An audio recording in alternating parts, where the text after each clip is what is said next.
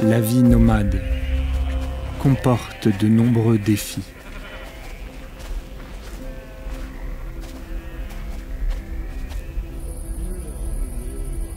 Quand j'étais petit, mon père me racontait des histoires. Des histoires sur la résilience de notre peuple dans les moments difficiles. Sécheresse extrême, tempête de sable, maladie. Une guerre qui semblait sans fin.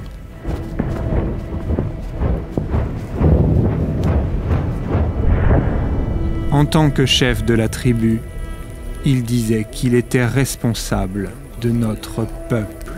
Il exploitait les connaissances de ceux qui l'avaient précédé, nos ancêtres, mais il savait aussi s'adapter aux nouveautés. Je le regardais et me demandais si j'aurais un jour été capable de diriger la tribu comme lui en temps de crise.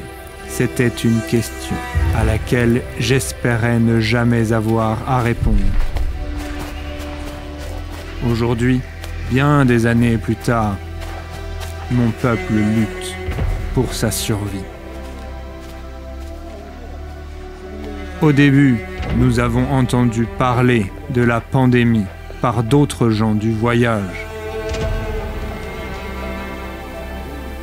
Certains n'y croyaient pas. D'autres ne savaient pas comment et quand elle allait frapper.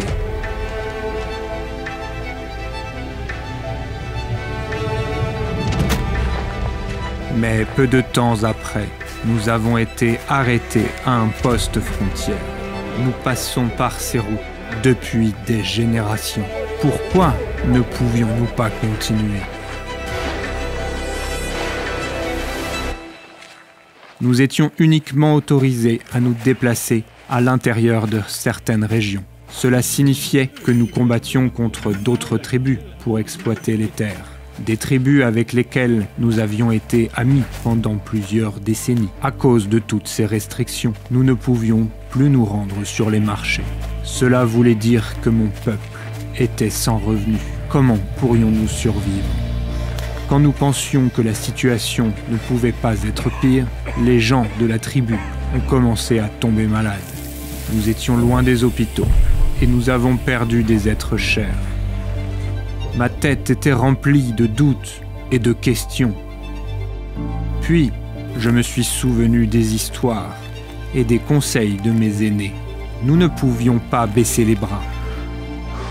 Nous sommes tournés vers les coutumes et le savoir qui nous avaient été transmis par nos ancêtres, comme isoler la tribu des autres et s'assurer que tous les membres de la communauté allaient bien.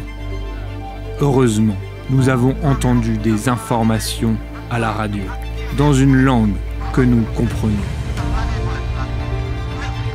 Plus tard, des étrangers sont venus nous donner des informations. Ils nous ont dit de porter des masques lorsque nous voyagions avec nos troupeaux et ils nous ont aidés à traverser cette épreuve.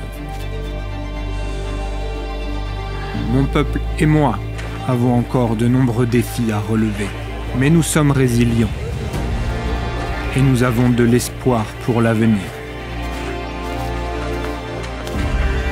Nous continuerons d'aller de l'avant.